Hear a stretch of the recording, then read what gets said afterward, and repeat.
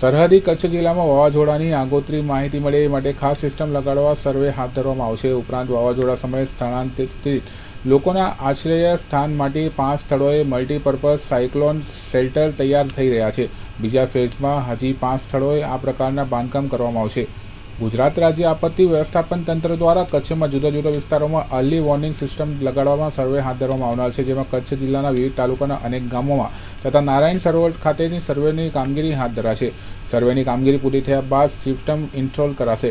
જેનાથી આગામી સમયમાં કચ્છમાં વાવાઝોડાની સચોટ આગોતરી જાણકારી મળી જશે.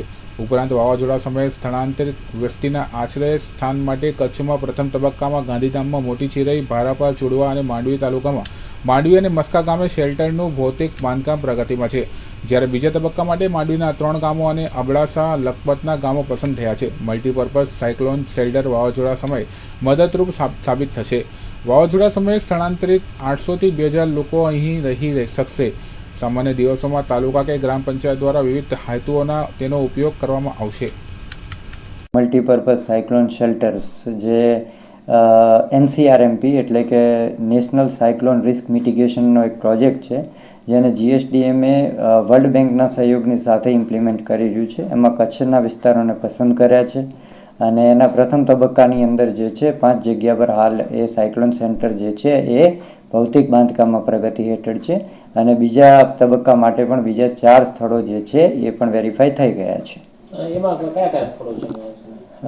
જે પ્રથમ તબક્કો જે ચાલી રહ્યો છે, એની અંદર છે મોટી ચિરાઈ, ભારાપર, ચુડવા, આ બાજુ માંડવીમાંથી માંડવી અને મસ્કા. આ પાંચ સ્થળો પર જે છે, એનું અત્યારે ભૌતિક બાંધકામ જે છે, અલગ અલગ સ્તરો ઉપર ચાલુ છે.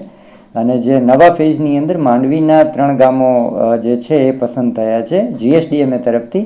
અને અમે જિલ્લા તંત્ર તરફથી અમારા કક્ષાએ જે છે અબડાસા અને લખપત માટે એક દરખાસ્ત મૂકી છે કે ત્યાંના પણ સ્થળો પસંદ કરવામાં આવે.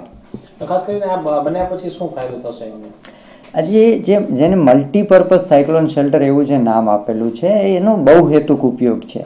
એ આઠસોથી લઈ અને બે હજાર માણસોની જે છે કેપેસિટીના બનેલા હોય છે. પ્લિન્થ પર બનાવેલા હોય છે, એટલે ઉપરના ભાગે મોટો હોલ, એની સાથે બીજી તમામ સાધન સગવડો એની અંદર હોય છે. તો સાયક્લોન દરમિયાન તો એ મજબૂત શેલ્ટરનું કામ કરશે આશ્રય સ્થાનનું પણ તદુપરાંત એનું સામુદાયિક હોલ તરીકે અને અન્ય કોઈ રિક્રિએશનલ એક્ટિવિટી સર્જનાત્મક પ્રવૃત્તિ કલ્ચરલ એક્ટિવિટી માટે પણ સામાન્ય દિવસોની અંદર એનો ઉપયોગ થઈ શકે છે. જે સામાન્ય રીતે મામલતદાર શ્રી જે છે એમના નેજા હેઠળ ગ્રામ પંચાયતો દ્વારા ઉપયોગમાં લઈ શકાય.